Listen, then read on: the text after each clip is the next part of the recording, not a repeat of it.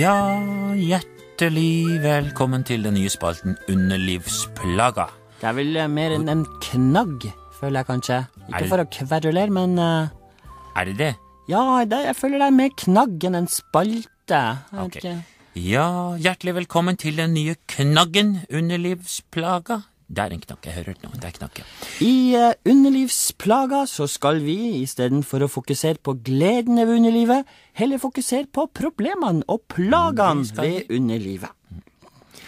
Og um, de er det ganske mye av. Det er nok å ta. Underlivet er et av de rikeste områdene for ubehag, bekymring, smerte, soppinfeksjon, sårhet og ikke minst utflod. Og ikke å glemme celleforandring. Og jeg holdt på å glemme celleforandring. Og nå har vi også glemt smerte ved samleie, så dere skjønner, her er det masse å ta av. Og jeg vet ikke hvordan det er på din dialekt, men på min dialekt er det over 40 ord som betyr smerte i underlivet. Sier du det? Vi har faktisk fått over 100 mye på, på min dialekt. Forskjellige nyanser av ulike typer smerte i underlivet og plager og problemer. Sa jeg at våre 40 ord var bare for den ene eggstokken.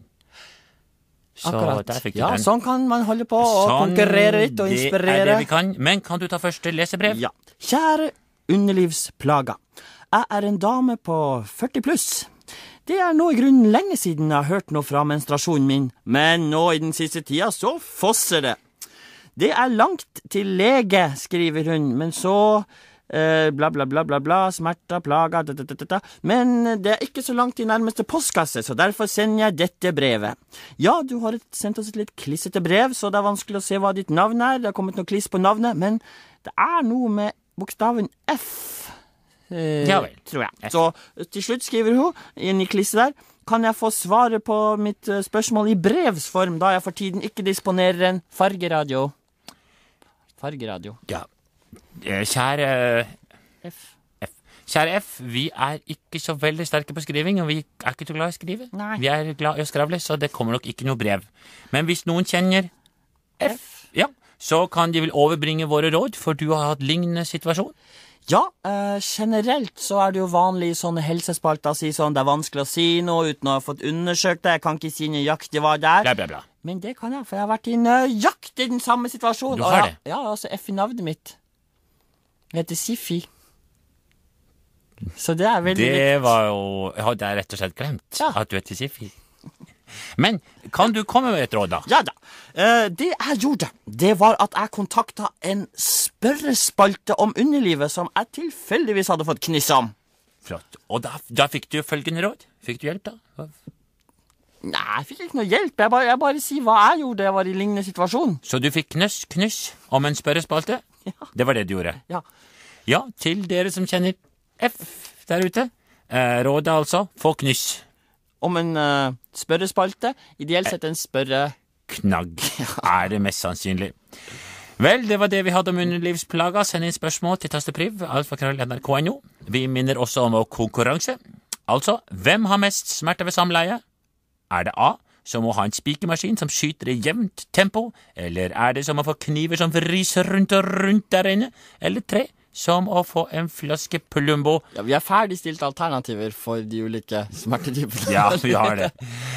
Vel, vel, det var det vi hadde. Da snurrer vi i gang neste låt. Opp og dans, folkens. Vær litt forsiktig med underlivet. Dans ikke for hardt, dans forsiktig og, og deg. Ja. Velkommen til spalten Spør om blues. Det er snart to måneder siden Notodden Bluesfestival gikk av stabelen. Det var fulle hus, god stemning på denne festivalen som samler blueselskere fra hele landet. Og ambassadør for Notodden Bluesfestival, bluesambassadør Geir Skarsvåg, velkommen. Hallo, hvordan går det, Skarsvåg? Takk. Ja, flott. Velkommen. Ja, ja. Ved siden av eh, bluesambassadør så er du også leder for prosjektet Ungdom og blues. Ja da, ja da, ja da. Du skal øke interessen. Ja, flott. Det er du. Det er ganske kaldt der ute, og jeg hører du hoster, og du burde vel ikke gått med skinnvest rett på bar hud? Nei, det er masse, masse Nei, så det er du enig i, og du burde heller kan, også kanskje løsne litt på det lisseslipset ditt. Jeg ser at det er veldig stramt. Det er, det er veldig stramt. Hold kjeft, hvis du Ja, jeg skjønner. Vi skal ikke, greit, vi skal ikke snakke mer om det.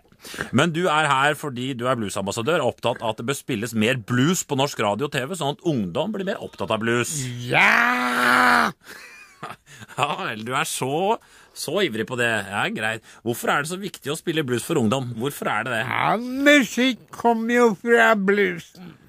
All musikk ja, det, det har jeg også hørt før. Ja. Oh yeah! Ok, det kommer fra bluesen. Du er en ekte blueselsker. Kommer rock fra bluesen? Ja, ja.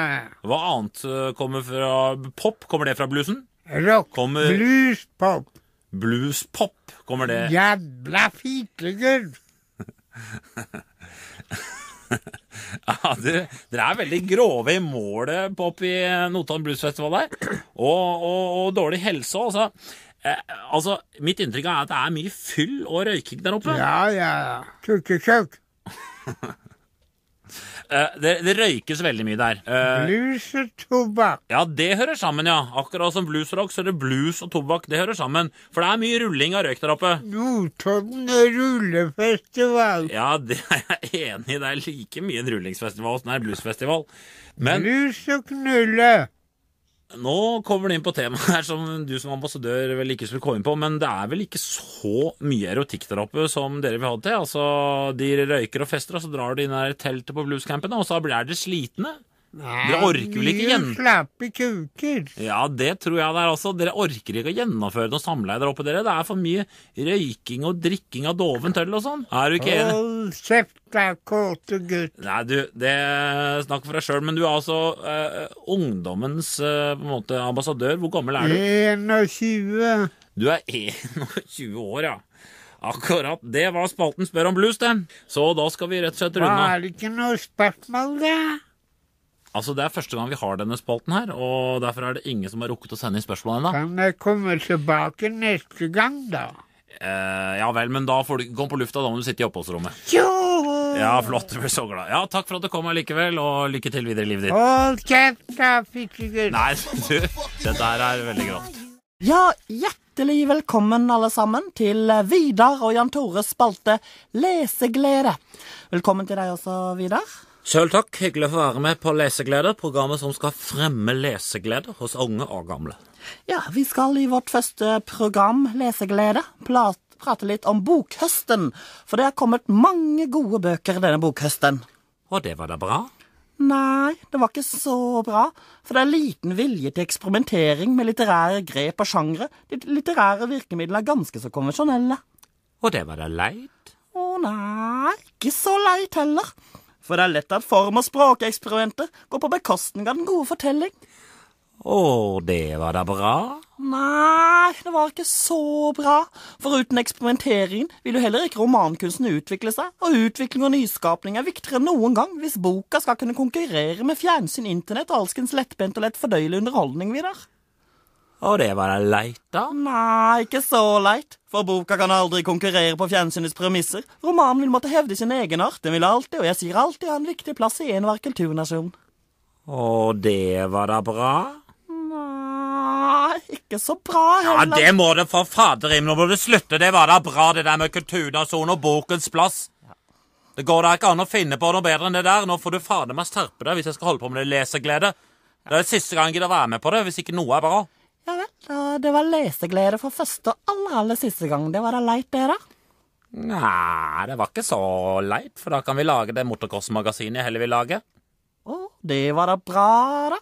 Nei, det var ikke så bra, for det er ikke så lett å lage så god radio av motocross. Bilene bare oh, fiser forbi, og så er det mange minutter til neste gang, og så må du fylle det med tørrprat og Å, det var da leit, da. Nei, ikke så leit, da. For da kan vi lage bakgrunnsstoff for mange av sjåførene. Snakke med deres kone, foreldre osv. Å, det var da bra, da. Nei, ikke så bra. For det vil på sikt ta bort fokus fra sporten sjøl og bli det reneste ukebladmagasin.